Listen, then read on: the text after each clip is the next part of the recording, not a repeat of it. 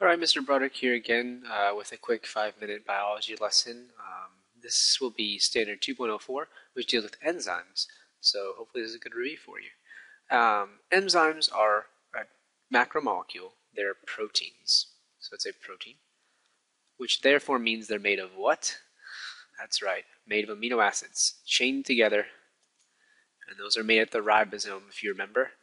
And those amino acids chain together and fold to make a shape. And enzymes are just a specific protein that help accomplish pretty much one primary function and lots of different functions under that umbrella.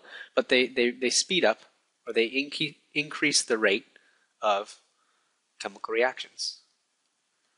So breaking things apart, putting things together in our body, enzymes accomplish that function. So they're proteins made of amino acids, they speed up chemical reactions, and that generally looks something like this. We call what goes in to an enzyme reaction the substrate. So, for example, starch in your mouth. And we call what comes out of it products, just like a general chemical reaction. And the enzyme is what mediates that reaction or helps it go quicker. So the enzyme is helping the substrate right here be converted into the product right here at the end. And you can see that in this next, I'll jump ahead here. Um, here's an example. Uh, here's an enzyme which has a shape that fits the substrate. And the substrate's up here to the top left. That substrate is made of two molecules. This side, a disaccharide, or it's a just a two. It has two parts to it, kind of like uh, sucrose, table sugar. Um, the substrate fits right into this spot right here. And we call that spot where the substrate fits the active site on a protein because that's where the reaction happens. So the enzyme brings it into the active site. And that active site has a specific shape and chemical properties, charge, other things you'll learn in your chemistry class that help it the reaction progress. Either maybe break apart in this case, so we have products made. So if you follow the arrow down to here, the products are made, it's split up. Sometimes putting them together, um, sometimes modifying the products or the I mean the substrates um, in different ways. So that's the general um, enzyme-mediated reaction here. You have a substrate fitting into an active site of the enzyme, making products. Now notice how the substrate fits right in here and the shape is a nice good fit. That is true of enzymes. They are specific, if I come back to this one, they are specific kind of like how a tool, like a wrench, is specific to um, its substrate, which would be like a, a nut or a bolt.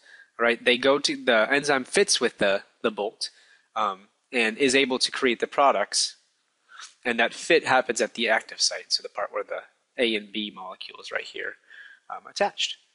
Okay, so enzymes have a couple properties, and maybe make a new page for this. They are specific, which means that enzymes can only speed up reactions of a certain type. So you have starch in your mouth. Starch is made into glucose because it's made of glucose. It's a chain by something called amylase.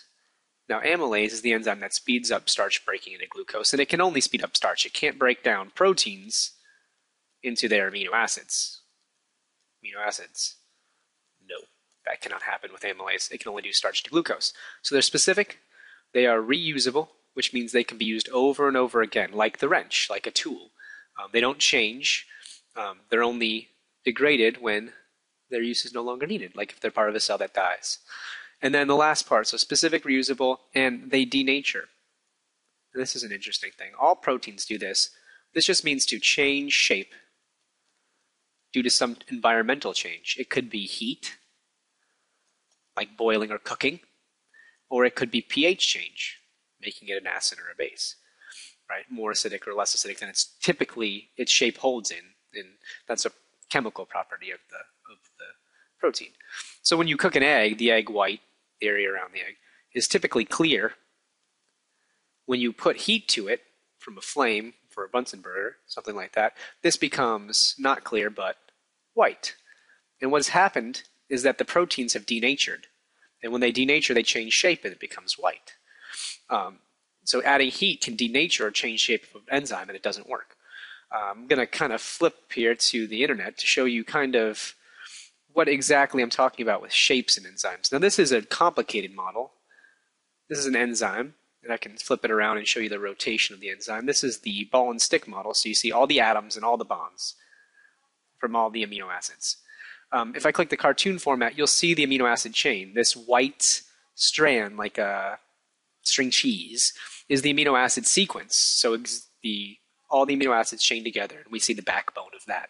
And we see these purple and pink things and orange things. Those are different shapes that are formed by the folding of the protein. These are helixes, so spirals, and these are sheets, these gold things. Um, so they're kind of like uh, folded pieces of paper in a way. And those are characteristic shapes of an enzyme. And if we flip this enzyme just right, we can see the barrel shape where starch passes through. This is amylase, and starch passes through right here and is broken apart into glucose. And if you really want to get technical, I can show you, let me get down here, this little thing right here, it's an amino acid. It's part of the active site. There's a couple amino acids right here which do the job of breaking apart the starch molecule. So it passes through this like a barrel. And some of the chemical properties of these amino acids allow a reaction to occur that breaks the bonds of that starch molecule, making little glucoses.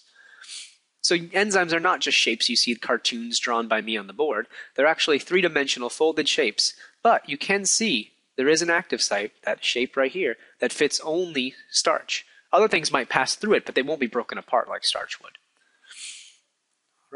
So that was a quick overview of enzymes. Hopefully you understand. These are the properties, and I'll leave them up here for the final, final take.